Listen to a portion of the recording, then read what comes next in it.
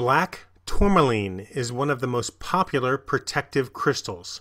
Its vibrations work well for reducing fear and transmuting negative energy into positive energy, as well as increasing focus. It is beneficial when working with the root chakra and can help ground excess energy into the earth.